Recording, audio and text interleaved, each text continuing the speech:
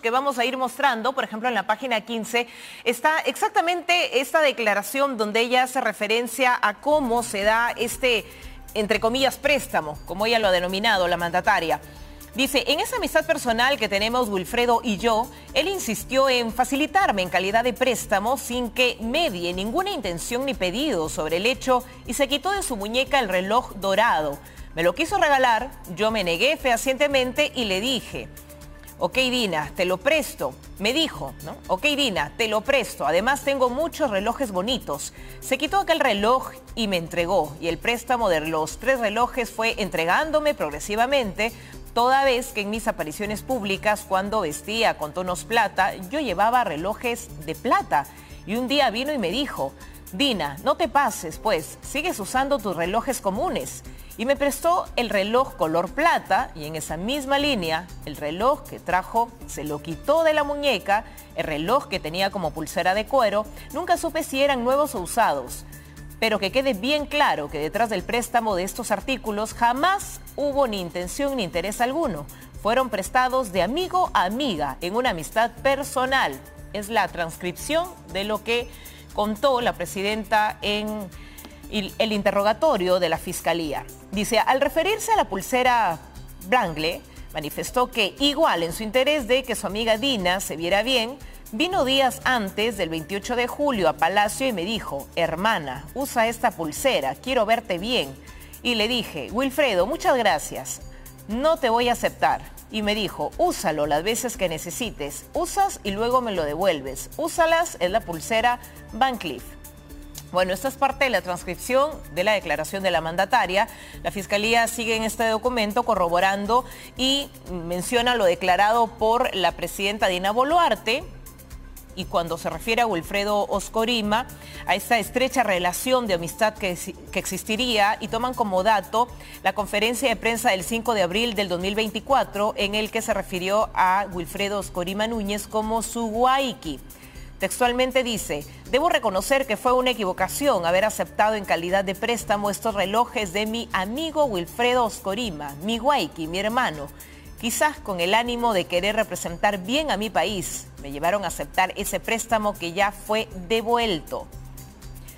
Luego hay otra precisión de cómo Dina Boluarte inicia esta amistad sincera de hermanos, como ella lo llama, con el señor Wilfredo Oscorima. Se toma como dato la respuesta a la pregunta número 48 en esta declaración indagatoria, donde ella manifiesta, desde que era gobernador electo, llegó a Palacio por una invitación del entonces presidente Pedro Castillo, sin embargo, no recuerda la fecha.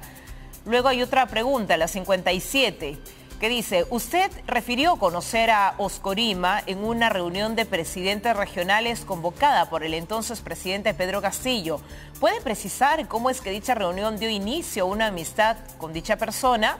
La presidenta señaló, la reunión fue convocada al gran comedor de Palacio de Gobierno por el expresidente Pedro Castillo. Él estuvo sentado al medio de la mesa, al lado derecho mi persona y al lado mío se sentó el señor Wilfredo Oscorima. Ahí es donde inicia una amistad sincera de hermanos. También se consigna una actividad oficial del 3 de noviembre del 2022 en el Gran Comedor de Palacio de Gobierno y efectivamente en la fotografía se observa que la presidenta está junto al señor Wilfredo Oscorima, y aquí habría iniciado esta amistad, como dice ella, fraterna y sincera con el gobernador regional de Ayacucho. Parte de lo que se conoce del sustento de esta disposición de la Fiscalía, esta denuncia que ha presentado el fiscal de la Nación, Juan Carlos Villena, en contra de la presidenta por el caso Rolex. En ocasiones anteriores, la presidenta, hay que decirlo, ha sido muy puntual, pero ahí está, ya vemos a las liebres, la comitiva oficial, la presidenta de la República tomando el acceso por la avenida Abancay, acercándose ya 15 minutos antes de lo acordado. De pactada esta cita, el vehículo de la presidenta se aproxima a la sede del Ministerio Público en medio del desplazamiento de su seguridad, el equipo de protección a la mandataria, seguridad del Estado, son seis vehículos que la resguardan. Ahí vemos en el centro el vehículo que desplaza a la presidenta mucha custodia por parte de la Policía Nacional y el despliegue que hay en la avenida Abancay, donde se impide por algunos segundos el tránsito incluso de los peatones y lógicamente se ha suspendido el eh, servicio público que se suele dar, se suspende mientras la comitiva se desplaza hasta la sede del Ministerio Público. Están por la puerta principal y por las avenidas aledañas, ahí está el ingreso para la zona de la cochera, como lo habíamos mencionado. El dron de Canal N nos permite tener estas imágenes, el acceso de seguridad del Estado corriendo detrás del vehículo de la mandataria que acaba de hacer su ingreso a la sede de la Fiscalía a las 8 y 46 para esta cita que está programada para las 9 horas. Investigación que también alcanza a la presidenta, sobre todo su testimonio respecto a la participación que habría tenido en esta desactivación del equipo especial de la policía que brindaba apoyo a la fiscalía, al equipo especial de fiscales contra la corrupción del poder. La presidenta va a declarar, lo ha dicho su abogado, y ha señalado que tiene la disposición de brindar esta declaración testimonial, dado que no tiene ninguna responsabilidad. Son órdenes ministeriales, decía la semana pasada cuando acudió a las diligencias que convocaron al coronel Harvey Colchado y al exministro Mariano González.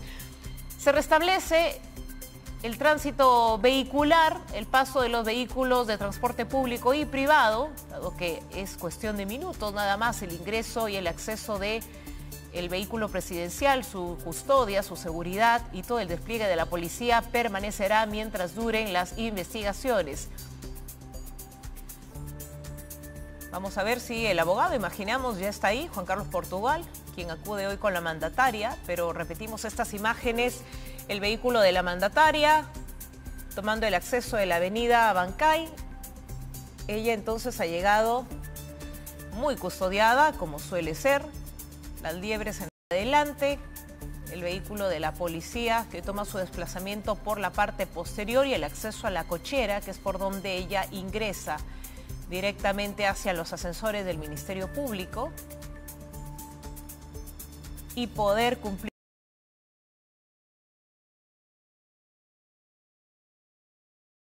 Está también en los exteriores, vemos al despliegue periodístico, hay un acceso muy limitado, muy restringido para la zona.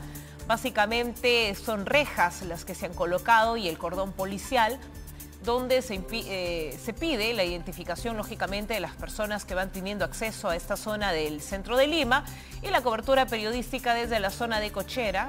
La mayoría de los equipos ya están ubicados ahí. María Laura Galindo ha estado muy atenta en los exteriores de la vivienda de la mandataria en Surquillo, Lourdes Paucar desde Palacio de Gobierno. Y vamos a ver qué novedades nos tienen también nuestras compañeras en la zona. De momento, la seguridad extrema en los exteriores del Ministerio Público. 12 minutos nos separan de la cita de esta convocatoria a la mandataria para que rinde su declaración testimonial en medio de este caso. La desactivación del equipo de la policía de apoyo al grupo de fiscales contra la corrupción del poder, conocido por sus siglas como EFICOP.